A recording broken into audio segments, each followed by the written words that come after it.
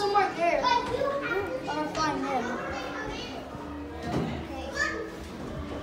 There's bees. No, uh, there's like, they look big. Uh, I don't see it. Oh, bees. bees. Yeah, they're bees. Oh, they're bees. Why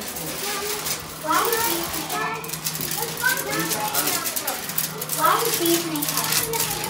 Bees make honey because they do. They use honey for their energy, and then they also eat one more thing, and that's the pollen that's in the flower. And that's where they get their protein and all the fiber.